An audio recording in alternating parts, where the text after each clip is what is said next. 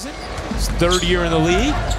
Shved on the drive gets denied by Jefferson, who timed it beautifully. Yeah, that was a nice move, wasn't it? For about 80% of the way, like this, through the legs, a little carry there, though, gets away with it. And doesn't get away with that one right there.